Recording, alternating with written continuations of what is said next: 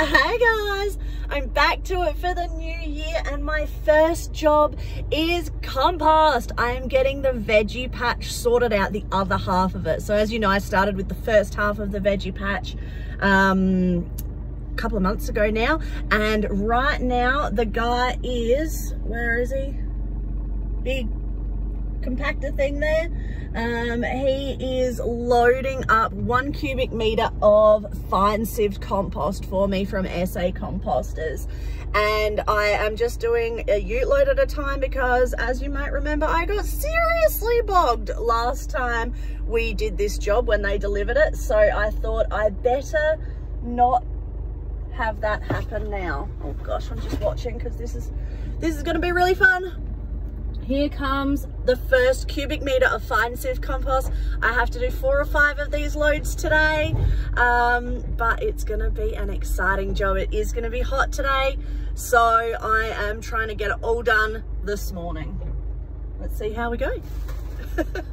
oh, it always scares me. The big bucket's like right on top of me.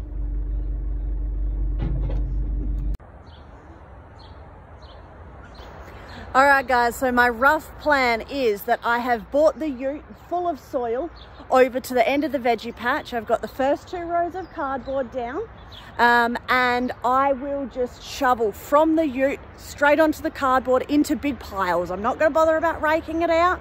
Just gonna dump it in big piles, then kind of move the ute back, dump some more piles, move the ute back, dump some more piles, um, and hopefully by doing it this way, I'm moving the ute itself as opposed to moving me more. So maybe it'll work and make it a little bit less difficult because I'm just shoveling the dirt straight down instead of like into a cart and moving it like I did last time. Um, I'm gonna need four or five ute loads to cover the area. Um, but I'm just gonna get started because I really wanna get this job done before it gets too hot. I'll kind of show you the stages as I go and we'll see how it turns out. I mean, it's going to turn out great. Look at the veggie patch. It's doing amazingly. So this is just part two.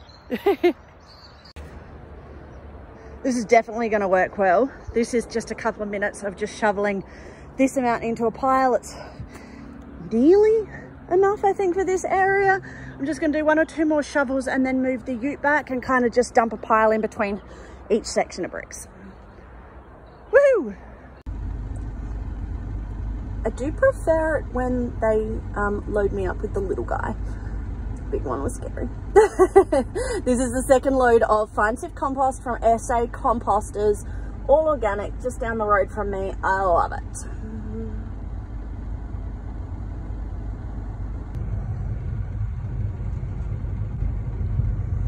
Black gold.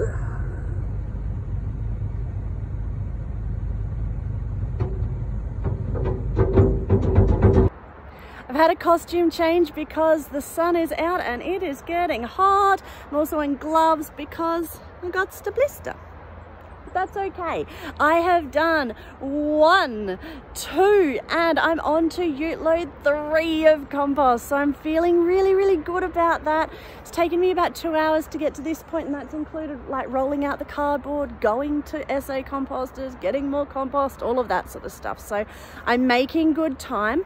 My plan at the moment is to unload this, still keeping it in the piles like I'm doing to see how far it goes Gonna race down, get the last load. I think that I'm only gonna need four. Uh, then I'll rake it out and have a look. If, if I need a little bit more, I'll judge. Is it like one or two bags? I'll just get bagged. Is it um, like a ute load? We'll see. You know, that's, that's what this is all about. I am feeling it though. I've been sitting on holidays for a couple of, um, for a week and a half, I think. Um, not really doing much and I'm feeling it today. So looking forward to finishing this up, um, especially hopefully before it gets far too hot. So I'm gonna keep going and I'll show you as I get to the next stage. I think that this is the last one. Here comes number four.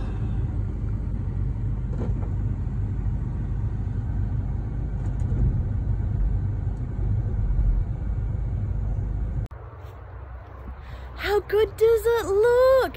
it is all finished and I'm so happy with it. So it ended up being four loads of compost, uh, which I just kind of dumped out of the ute in piles. Then I did a dump run. I hurt my finger. You can see it's a bit swollen here. Um, I had um, a whole heap of concrete blocks from those fence posts that I've been pulling out. I thought, well, I've got the ute, I'm gonna get rid of them. And anyway, I was putting the second to last one in and smashed my finger. So that was fun. Um, anyway, iced it a little bit, came out, raked it all down, and I've had the sprinkler I've had the sprinkler on it, just settling all the compost because if I didn't do that, the compost would just wash away in the wind. So there it is. It is all so exciting, so full of promise, so full of just excitement for me. Um, it means that I can run my next round of veggies. I've got no idea what I want to plant there. I honestly have no idea, but I just really had a hankering to get the patch done. So let me show you one or two little things um, that are just things that I think I should show you. And that's gonna be it. So I will come along and tidy up the edges of the cardboard. Uh, the cardboard is there as weed suppressant under the mulch and the mulch is a really nice thick layer. Now the two compost bins, this one is full of chicken poo that's um, like composting away. This one is chicken poos being put in it now. Um, I didn't feel like moving them, so I've just bought the cardboard right up to the edges of it and I'll deal with these weeds shortly. The cardboard comes all the way along to the edge here. This corner, um, you can see the drip line, that's pretty much the edge of the whole patch.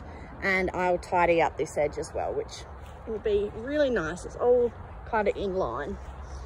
Um, the worm farms, one and two, just in there. Let me get under the shade, it's hot and I just, as I said, raked it all out. So it'll clean up nicely.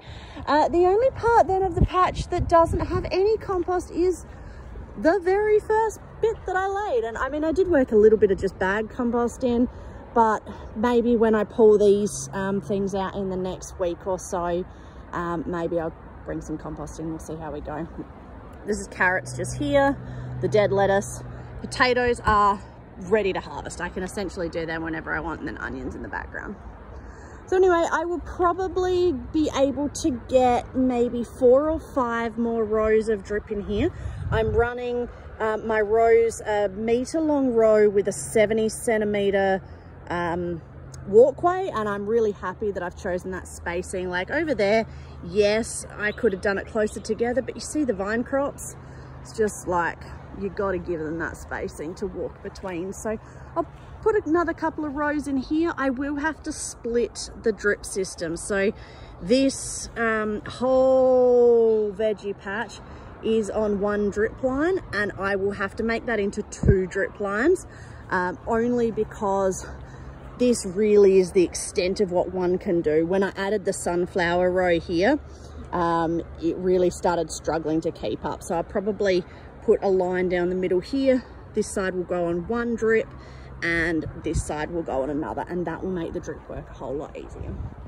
Veggies are doing great. It's just a little bit sad right this very second because it is a hot afternoon. But how wonderful does that look?